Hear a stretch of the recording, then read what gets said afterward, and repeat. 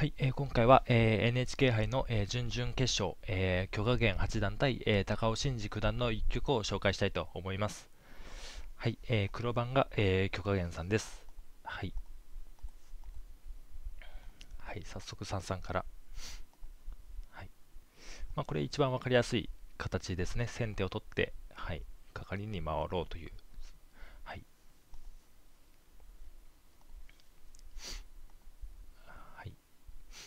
まあ、このコスミもね、あの白の利きをなくして、えー、いい手にいい手になりますね。はい。はい、早速打ち込んで。はい。はい、まあ、白も、まあ、自分の方がね、まあ、えー、うん、まあ、自分の根拠も兼ねて詰めました。はい。まあ、いろいろね、黒ここに打ち込むとか、いろいろあるんでしょうけどね。はい。まあ、そうするとこういうような展開になるかもしれませんね。こんな感じで、まあ、こう襲いかかるとか。はい。はい、これは結構白も硬く打って打たれました。はい。で、コスミツケ。で、まあ、ここら辺はね、お互い反発ですね。うん。まあ、下がればね、利かしということで、黒も、えー、反発しました。はい、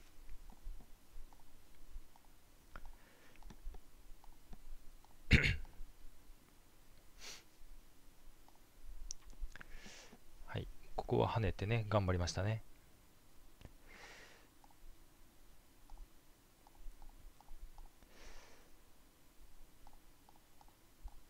はい。うん。まあ、ここ、あのまあ、霧とかね、こう差し込みからいけばね、こうとかになる手がありますんで、まあ、結構白はね、まあ、思ったより、えー、眼形があるというか、厚い形ですので、うん。まあ、白もそんなに悪くない感触はありますね。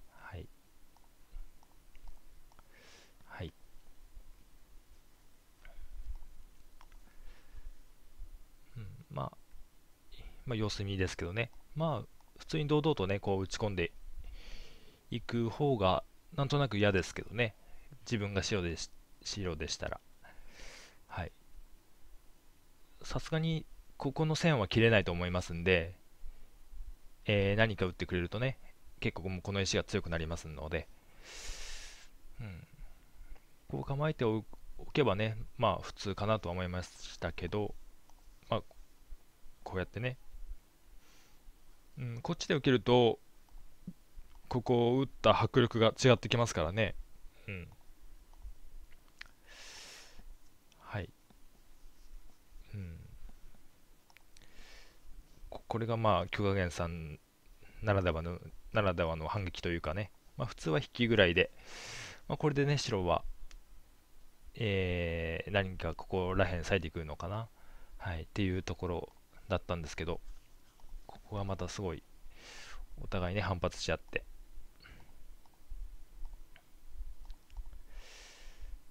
はい。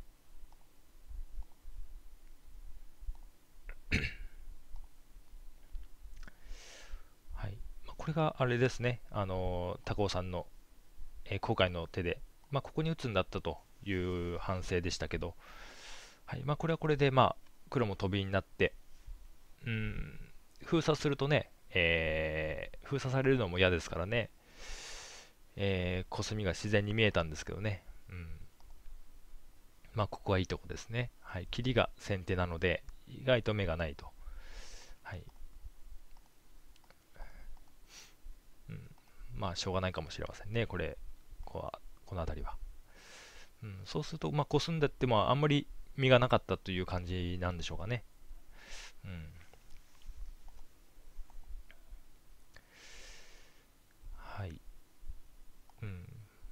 まあ、桂馬1本、うん、決まって、ツケから。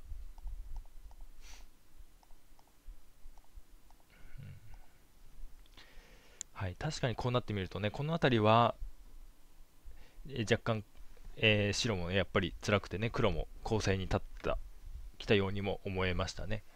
うんまあ、まだまだ難しいとこですけど、はい、こうつけて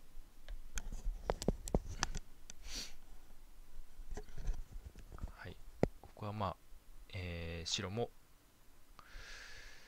はいこうねもう反撃していきましたね。うん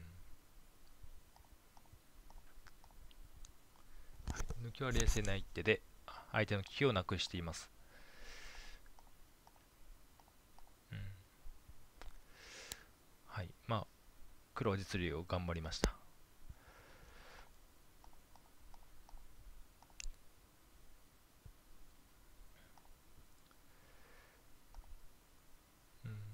この三目取りはね手厚い感じで、まあ、この辺りはまあそうですね、まあ、細かい、うん、お互い微妙な駆け引きですけどね。うん。はい。で、こうなってうん、ここがね、打つことができては、えー、白がね、えー、いける感触が出てきました。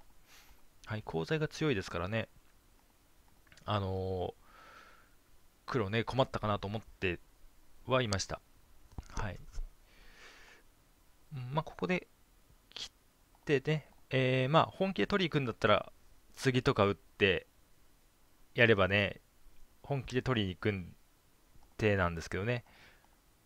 まあ、こうやってどんどん、こうやってね、まあ、一個一個こうやるんですけど、まあ、一応部分的には死んでるので、えー、まあ、こうやってね、えー、行く手もあったんですけどね、白はもう大体3目取ってますんで、目は大丈夫ですから、まあこれも取った時にはここのここがありますねそんなにね3目、えー、取られるわけでもないので白はうんここにあとね5個ぐらいあってここにもねコウ材が羽から打てばコウになりそうですからあ手になりそうですからはいなのでこうやってね頑張って打つこともねできた気もするんですけどねただ、まあ、こう打ってね、これ、これだけですごい得ですから、あのー、妥協しましたね。妥協というか、もう得したのでいけるという、ね、感触でこう打ちました。うん。ただね、あの、まあ、思ったより細かくて、えー、もしね、負けてたらちょっと後悔が残る手だったんですけど、はい。うん。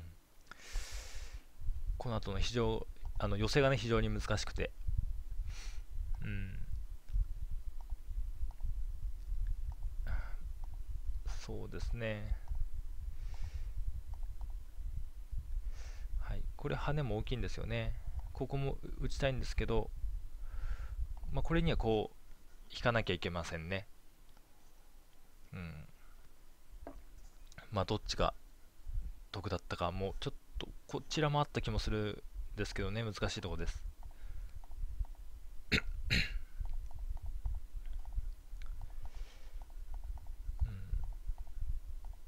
はい、ここは全部権利ですよね。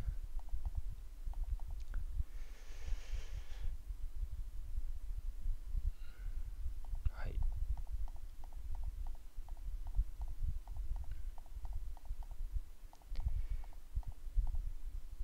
はい、ここで打って打ったのが、まあ、一応やっぱり寄せてますか。うん。ここまでは権利ですね。はい。はい、ちょっとこの手が得だったのか、どうだったかっていうところですよね。これそんなに、こうやってもこう目つぶせますから、えー、そんな大きくなかった可能性もありましたね。えーここが良かったんでしょうかね。うん。まあ、こうやってもね、こうやってどうせ、こうなるような感じなんで、